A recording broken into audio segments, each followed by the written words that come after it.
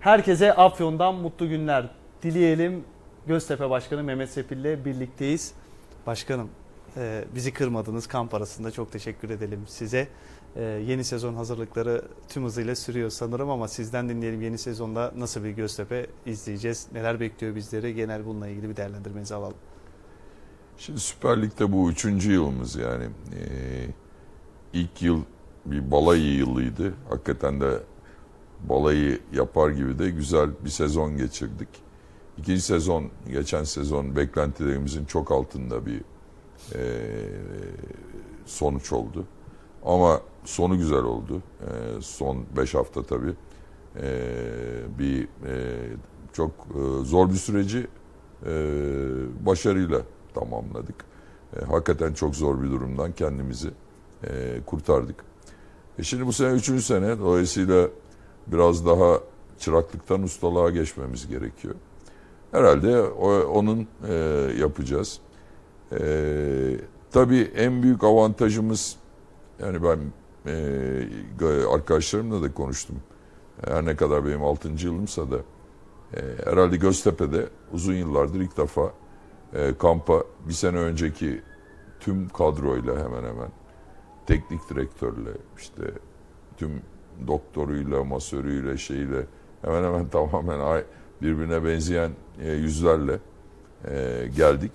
Ben bunun bu sene bize e, avantaj, çok avantaj getireceğini düşünüyorum. Yani bir yerde hep söyleriz iskelet kadro, işte alışkanlıklar. Bu sene biz her ne kadar geçen sene son, dedi, demin söylediğim gibi istemediğimiz bir seneye geçirdiysek de e, ana kadroyu koruyaraktan ve ona eklentiler yaparaktan onu gençleştirerekten ona çok çabalıyoruz. İyi bir iskelet oluştuğunu ve hani bu sezona daha rahat bakabileceğimizi düşünüyorum. Sayın Başkan biraz değindiniz ama şimdi konuşurken böyle ara ara aklıma geliyor sorularda. Şimdi en az Süper Lig'e çıktıktan sonra 2-3 sene ligde kalmamız lazım dediğinizi hatırlıyorum sanki. Ee, bu süre nasıl olacak? Bundan sonraki süreç 2 yıldır Süper Lig'desiniz. Bundan sonra istediğiniz eşiği açtığınızı düşünüyor musunuz?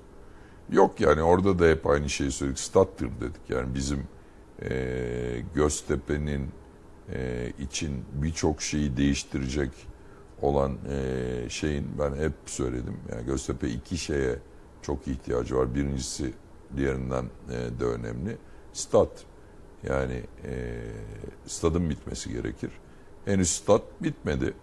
Beklentilerimiz e, ikinci devre kaçıncı maç olur söylemesi zor yani buradan. Beşiktaş maçı ee, şeklinde çıktı ama o kesin e yani başkanım. Yok Sizden... öyle bir şey tabii. Herkes, Daha net değil yani. E, tabii tabii ikinci maç olduğu için herhalde biraz öyle bir e, e, tarih kafalarında şey yapmış ama şu an e, gözüken tarihe göre e, bunlar mümkün. E, e, tam zamanlı şu an yani inşaat bilirsiniz ya çok çok güzel ve çok önemli bir stat yapılıyor. E, dolayısıyla açıkçası e, Göztepe e, 95 yıl böyle bir stat bekledi. E, ben onun e, iki hafta önce gireceğiz diye e, güzelliğinden bir şey kaybetmesini istemem yani. Göztepe'nin geleceği o statta yatar. Be. Tabii altyapı da önemli. Orada da e, biraz projemiz şu an sekteye vurdu ama hani ona da devam edeceğiz. Dolayısıyla bu ikisine sahip olan Göztepe e, tabii o zaman her zaman hem ayaklarının altın e, üstünde altında değil üstünde şu altında duruyoruz da üst, üstünde duran bir Göztepe olur.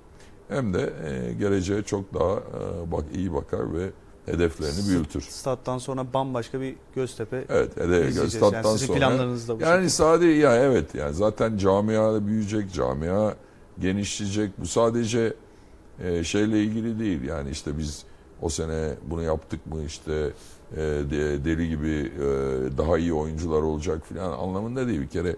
Yani Göztepe'nin Türkiye'de kabul edilmesi ki inanılmaz bir yere geldik 3 sene içinde.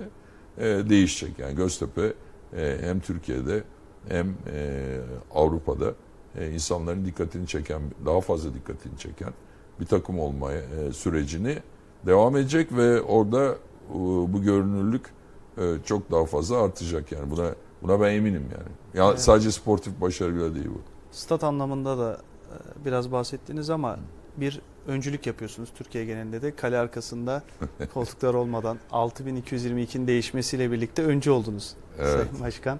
E, onunla ilgili detayları sizden dinleyebilir miyiz? Ben de merak ediyorum açıkçası nasıl olacak, e, neler bekliyor statta?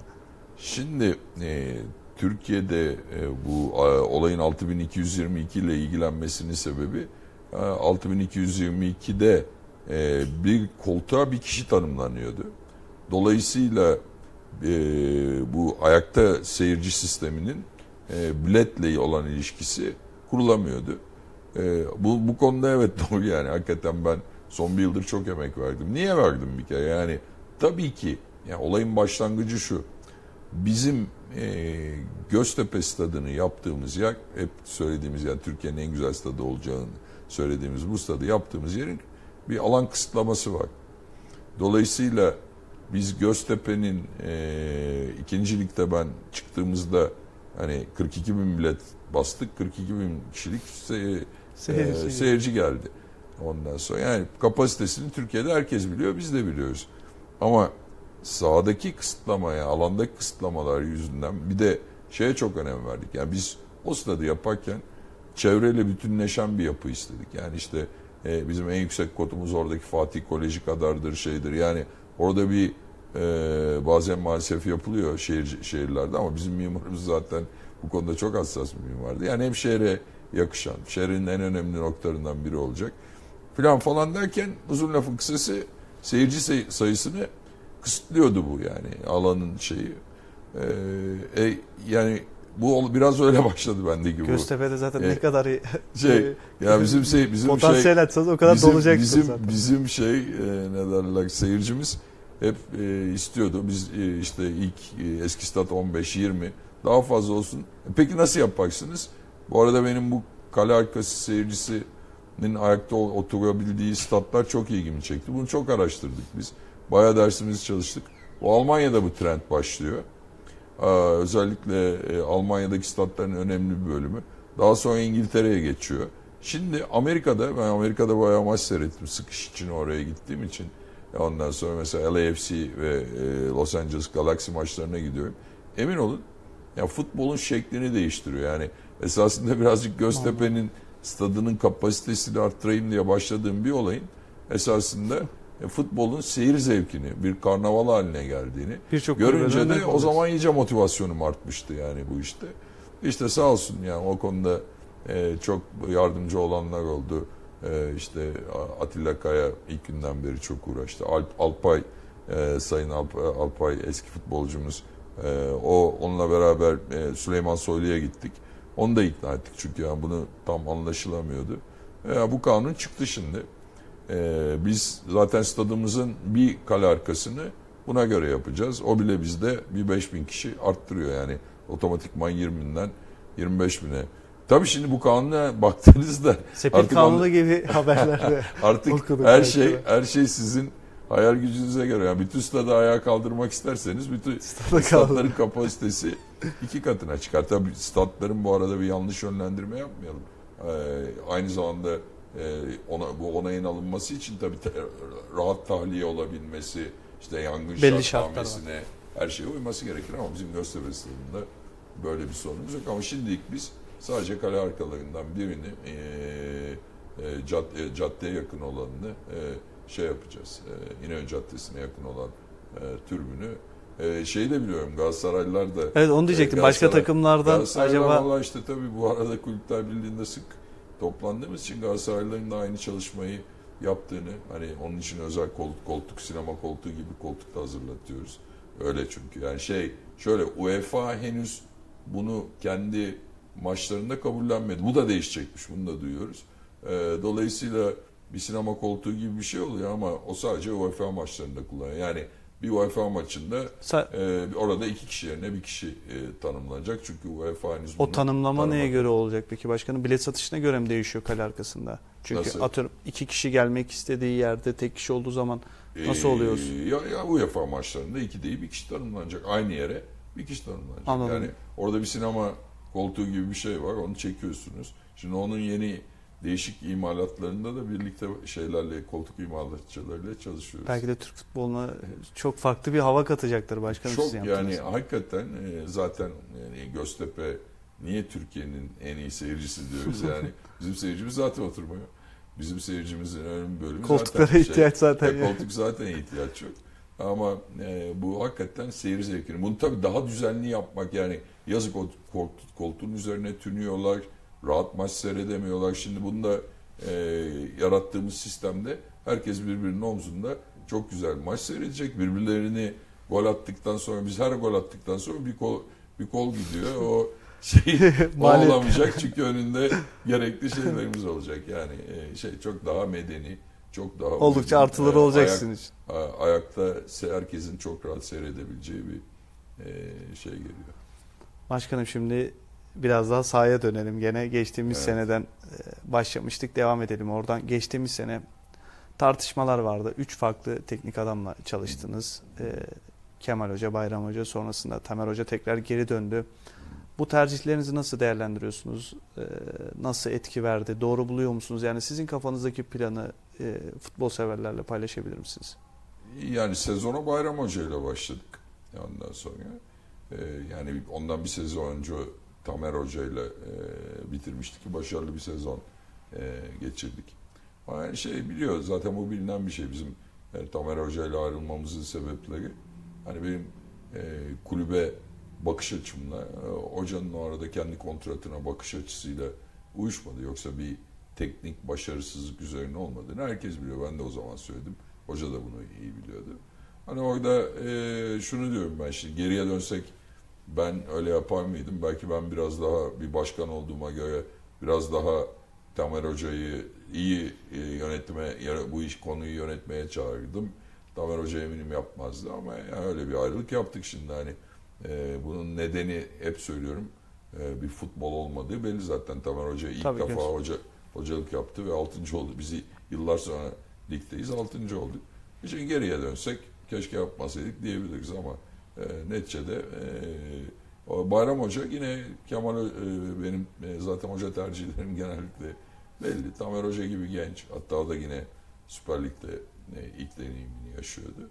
E, bu hakikaten ben olabileceğini düşündüm. Belli bir noktadan sonra özellikle e, iş krize girdikten sonra yani e, şeyleri mağlubiyetler arka arkaya gelince bir gid- gidemedi iş yani şey yaptı. Yani e, Bayram Hoca ile yollarımızı ayırdık. Sonra Kemal Hoca tecrübeli bir hoca. E, dolayısıyla yani hep e, benim e, meşhur şeyim lafım var. Ben e- en çok hoca değişmemeli deyip ama hoca değiştirenlerden biri de biz oluyoruz diyorum. E, bu tabii sadece benim değil, e, Türk futbolunun e, şeyi ne, ne derler yarattığı Türk Türk futbolunda yaratılan Sistem ortamın e, si- sistemin sonucu özellikle seyirciyi, camianın hızlı, beklentilerin çok hızlı olmasıyla bunlara itildik ama artık işte Tamer hocamız var. Demin söylediğim gibi yüzler aynı. Şeyler aynı. Futbolcuların çoğu aynı. Ondan sonra. Dolayısıyla e, şey hani bu yanlış evet yani bizim zaten e, Türk futbolunun başarılı olamamasının yurt dışında da sebeplerinden biri e, bu. Ama bu sene inşallah e, bunu geçtiğimizi düşünüyorum. Şimdi de e, transfer konusunda merak ediyorum düşüncelerinizi Sayın Başkan. Hı hı. Eren Derdiyok gibi bir yıldız oyuncuyu kadronuza kattınız. Birçok takımla anıldı ama e, siz transfer etmeyi başardınız. Eren'in de sıkıntılı bir süreci vardı. Belki de risk aldınız ama Eren adına nasıl olacaktır ve transfer politikanız nasıl olacaktır onu merak ediyorum. Şimdi birincisi Eren'le almakta risk aldığımı düşünmüyorum. Tam taksi yani çok iyi bir transfer yaptığımızı düşünüyorum. Yani hakikaten Eren'in e, dakika sayısına ve onunla ilişki gollerle e, ilişkilendirdiğiniz mi muazzam bir istatistik çıkıyor. Belki de Türkiye'nin e, e, o kadar oynayan kişiler arasında en iyi. Zaten Kasımpaşa'dan müthiş bir Evet, transfer gerçekleşti. Şimdi e, Eren Göztepe'ye gelmek istedi hakikaten yani. Mesela e, bu çok önemli bizim için. E tabii yani Eren e, çok değerli bir oyuncu. E, Galatasaray'da aldığı ücret eski takımında o zaman piyasada biraz daha oyunculara daha yüksek e, ücret vermeye uygundu. Çok fazlaydı. Yani bizim yanaşabileceğimiz bir ücret de değildi. e, sağ olsun e, Eren hakikaten yani e, İzmir'e gelmek istediğini, Göztepe'ye gelmek istediğini gösterdi. Tabii bu süreç oldukça e, uzun bir süreç oldu. E, ama ya şunu söyleyebilirim biliyorum Eren'le ilgili e, özellikle e, konuşulan endişe ne işte Eren'in çok dakika almadığı yani e, endişeleri var. Ben e, tabii inşallah hep e, şey yapıyoruz e, oduna vuralım diyoruz ondan sonra ama e, Eren'in e, bu kendisiyle de bu konuları tabii yüz yüze de konuştuk.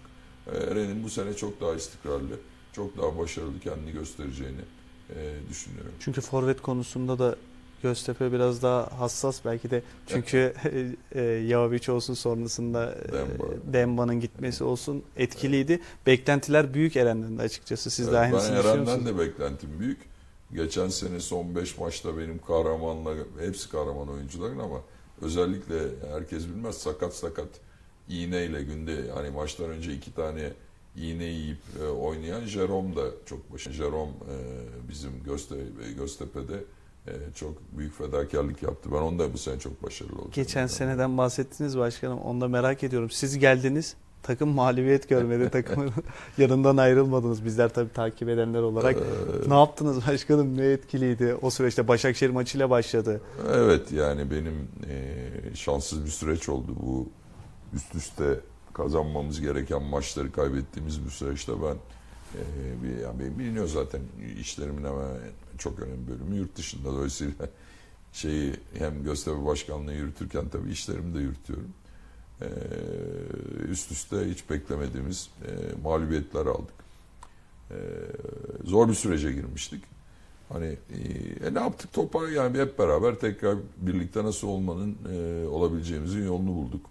E, hoca, teknik ekip, oyuncular yani tam kaybediyorduk ama şey yoktu. İçeride e, sadece moraller bozuluyordu. Yani e, bir içeride e, yumurta kırılmıyordu. O çok önemlidir. Kırdığınız an zaten toparlayamazsınız. E, yani benim gelmemle hakikaten ben de son 5 hafta onlarla beraber oldum. En önemlisi tabii şansınız da olmak zorunda. Yani Başakşehir maçıyla yakaladığımız e, çıkışı. Çakır'ın e, yani şunu söyleyeyim ben. O 5 maçın 5'ini de kazanabilirdik. Yani arada iki tane beraberlik aldı ama ya 5'ini de kazanabilirdik. O e, yani şi- hava değişti. E, ondan sonra iş kolay oldu. Peki e, bu sezon tabii daha dikkatlisiniz. Transfer konusunda da hem e, tecrübe anlamında da Süper Lig anlamında tabii tecrübenize söylememe gerek yok başkanım. Stoper sanırım e, almayı düşünüyorsunuz veya hangi mevkiler Göztepe transfer gerçekleştirecek? Ya şimdi yani kesin alacağımız iki nokta var. Stoperle e, sol bek. Yani bu stoper ve sol bek kesinlikle alacağız. Ondan sonra hatta şu an e, biz burada konuşurken e, görüşmeler yapılıyor. Yani belki bir ikisi e, en az biri bugün yarın bitebilir. Daniel için E, efendim? konuşuluyor. Daniel sanırım Al- Alman. Yok yok yani şu an e, şey e, pek genellikle bizim uğraştığımız oyuncular yok. Belki isim söylersiniz diye Yok yok yok. uğraştım başkanım ama tamam Ondan sonra netleşmeden çünkü söyle. yani. bitmiyor öbür türlü yani e, bu zorlaşıyor transferler. Öz- e, yani şu şunu yapıyoruz artık yani ortada bir realite var. E, biz geçen sene e, yap yani şunun farkındayız. Çok iyi oyuncular aldığımızı inanıyoruz. Ama o iyi oyunculardan beklediğimiz başarıyı elde edemedik. Şimdi şöyle bakıyoruz. O, o iyi oyuncuların da önemli bir bölümü kaldı. Kontratları var. Acaba biz kimleri eklersek yani diğer oyuncuları da Kazanıyor. nasıl? Zaten son 5 maçta bunu becerdik.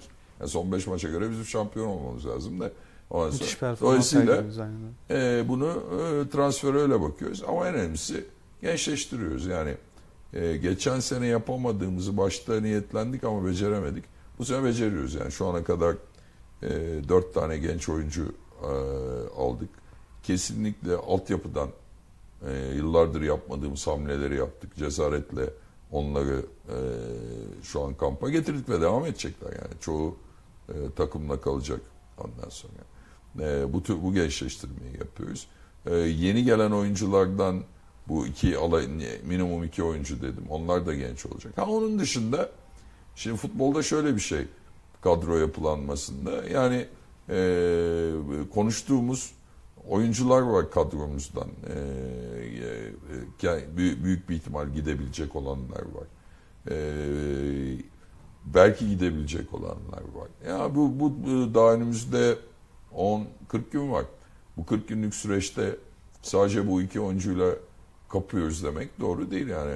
Ee, ne olacak? Önümüzdeki kendi takımımızla ilgili olan gelişmelere bağlı olarak e, şey yapacağız. E, ne derler? Oyuncuların iki tanesi haricinde hepsi burada. Şu an e, yani bir e, Borges e, gelecek o milli maçlar vardı biliyorsunuz. Costa Rica'da Hı hı. tabii ona birkaç bir dinlenme izni vereceğiz. Çocuk biraz dinlenip gelecek. Yani ama e, şey e, ne derler bu sene ben e, gençleşeceğimizi ve daha iyi bir takım olacağımızı düşünüyorum ama bu arada e, bütün takımlar bizim yaptığımızı yapacaklar. Yani e, birazcık da bu e, Türk futbol ekonomisinin e, zorunlu yaptığı bir e, sonuç olacak. Kulüp lisans talimatı başkanım. Ne düşünüyorsunuz? Ee, bu talimattan sonra e, ilk röportajım bir Sayın Başkan'a röportaj yapmak. Düşüncesini merak ediyorum. Yani kulüpleri nasıl etkileyecektir? Ee, artıları eksileri neler olacaktır? Şimdi bir kere yani esasında doğru söylediniz. Yani belki de Türk futbol tarihinin en önemli şeyi çıktı. Ee, ne derler? Ee, e, nasıl diyeyim? Kural değişimi çıktı. Ama şeyler e, henüz Çok e, çok tartışılmadı. gelmedi. Evet. Şimdi bunun bir kere niye çıktığını ve sürecini algılamak gerekiyor. Ee, bunun çıkma sebebi UEFA. Yani artık e, özellikle bunun çıkma telaşı Trabzon ve Fenerbahçe için vardı. Ama biz diğer kulüp başkanları olarak da onlara yardımcı olunması gerektiğini çünkü eğer biz bu lisans talimatını çıkarmasaydık bu sene büyük bir ihtimal Fenerbahçe'de e, şeyde e, Trabzon'da ceza yiyebilecekti. Çünkü niye? Yani, yani Avrupa UEFA yıllardır bize sürekli bir işte financial fair play diyor, onu diyor, bunu diyor bir sürü şey yapıyor ama Türk takımları sürekli bunu deliyordu. En sonunda Türk Futbol Federasyonu şunu söylemek e, durumundaydı. E, biraz da zorunda kaldı diyelim. Kızmasınlar ama. E, dediler ki artık siz bizi cezalandırmayın. Yani siz bizi denetlemeyin. Biz kendi kendimizi bu financial fair play e, kurallarının içine e, sokacağız. Peki bunu böyle yapabilmeniz için e, ne yapmak lazım? Bununla ilgili şey kurmanız lazım, sistemi kurmanız lazım. E, en son Futbol Federasyonu Genel Kurulu'nda yine o da dikkati çekmedi. E, bu lisans kurulu iki kişiden yedi kişiye çıkarıldı. Ve bu yedi kişinin de gidip incelenirse içinde işte yanılmıyorsam şimdi dört tane bankacı, şu bu yani e, e, çok daha değişik bir yapıyla e, esasında şu an birçok kulübün yaptığı e, bu e, aynı zamanda borçların yapılandırılması ve bu e, lisans e, yine şeyinin e, e, değişmesi, talimatının değişmesi esasında bunlar hep aynı paketin parçası. Yani amaç ne?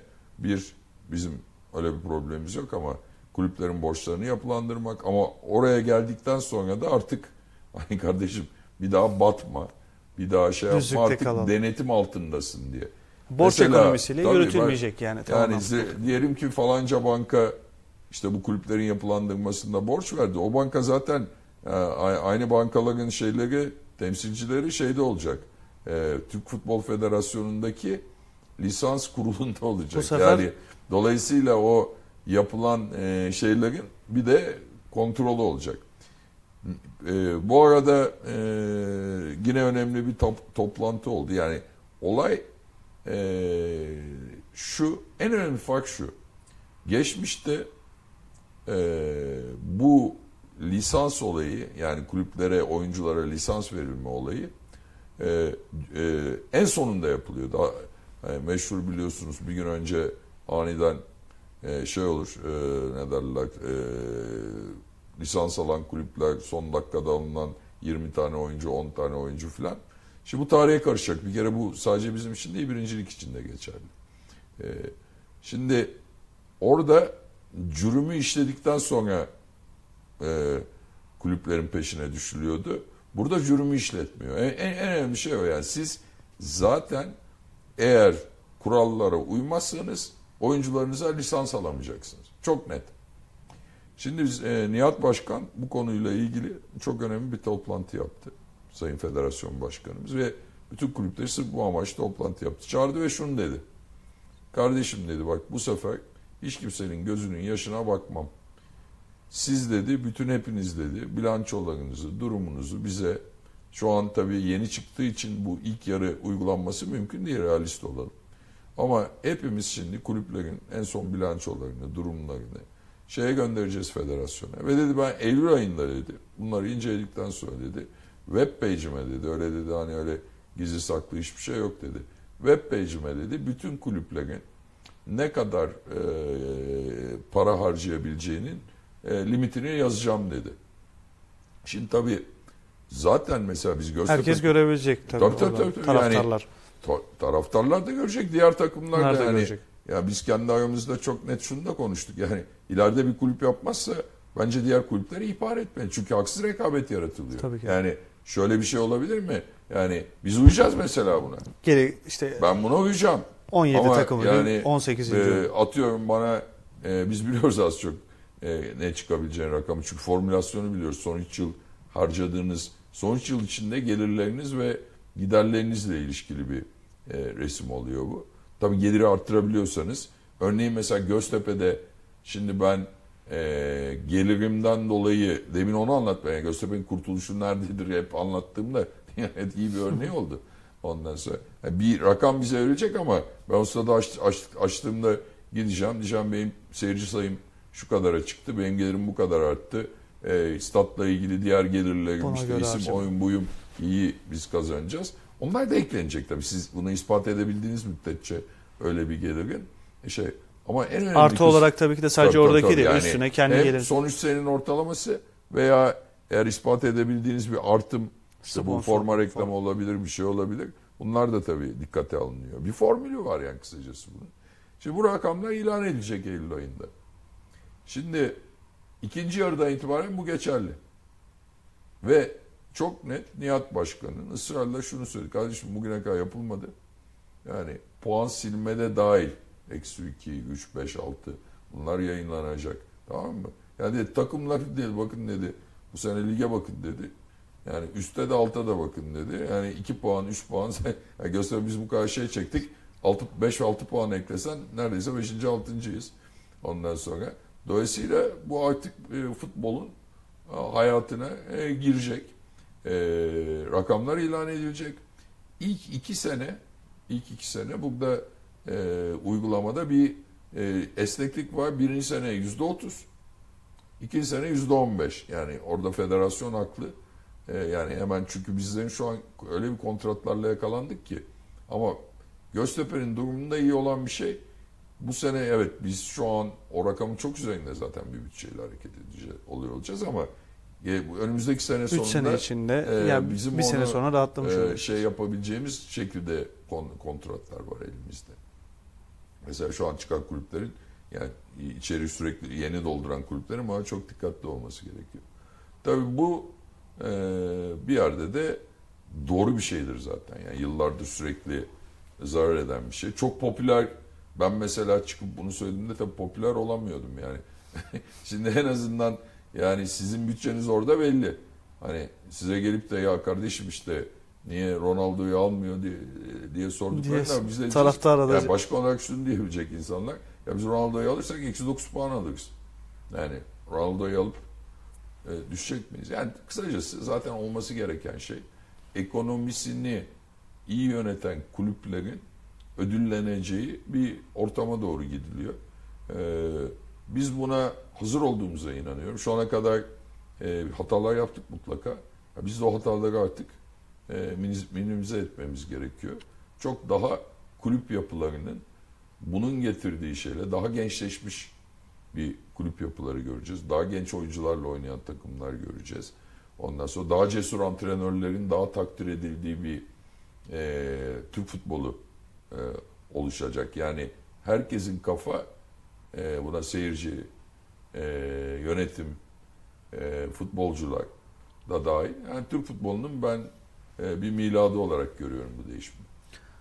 Ee, başkanım Türk futbolunun içine bu kadar girmişken şunu da merak ediyorum e, sizin gözünüzden. Altyapı, Göztepe'nin altyapısıyla ilgili bir çalışma var mı ya da e, ne planlıyorsunuz? Göztepe taraftar da sizden duymak istiyordur eminim. Yani altyapı yani e, Çünkü zaten Türkiye'de- şu, şu şu şeyi gördüğünüzde bakın çok güzel bir gelişme oldu o birazcık Cengiz çok yardımcı oldu e, ona.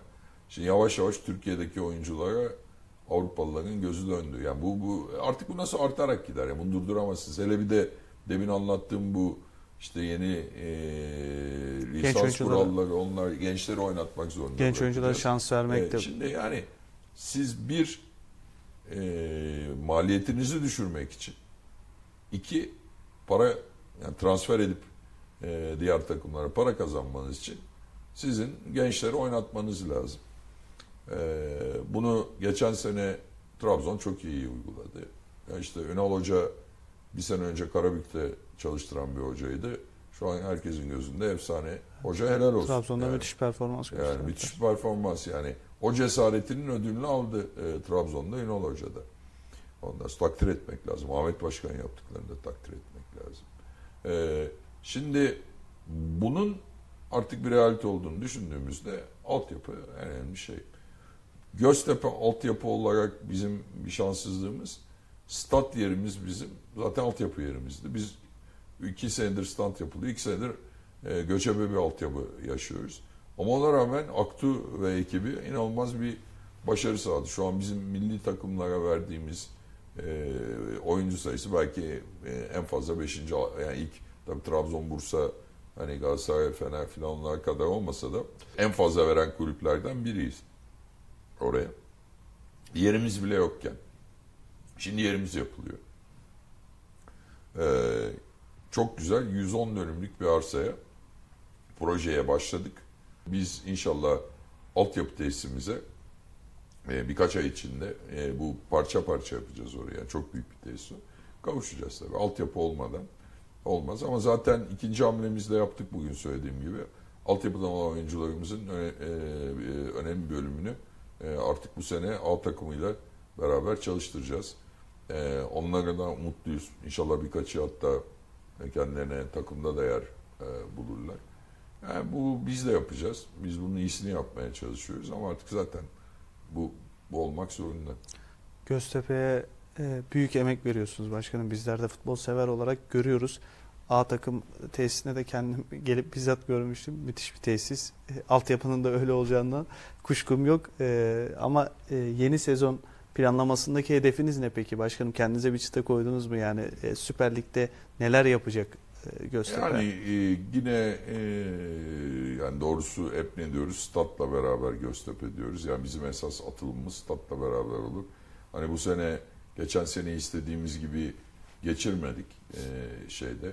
Hani bu üçüncü seneyi de e, yani bizim artık e, geçen sene yaşamadığımız gibi bir sezon yaşayıp e, üst sıraları zorlamamız gerekiyor. E, şey olarak e, kolay bir lig olmayacak hep söylüyoruz. Geçen sene de gördük. Ondan sonra e, şeyimiz ama e, Çıta'nın, Göztepe'nin yükseleceği yer statla beraber henüz e, yani şeyde Bornova Stadı'nın sağ olsun Bornova Belediyesi bize çok önemli hizmet veriyor.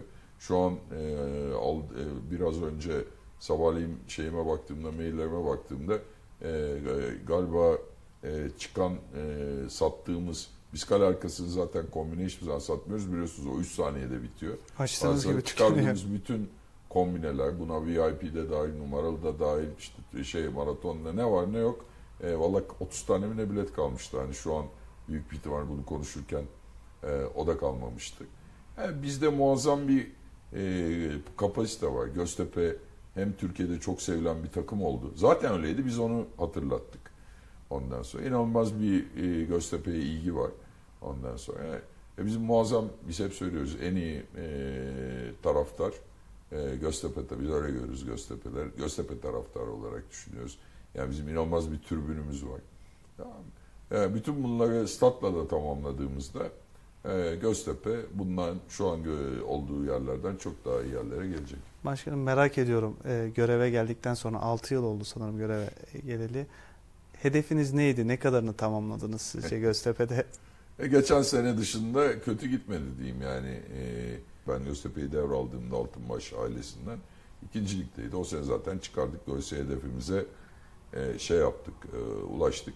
E, o zaman ben söylemiştim yani ilk sene çıkmak şart değil diye. İki yıl sonra e, Süper Lig'e çıktık. Orada da dolayısıyla hedefimize e, ulaşmıştık.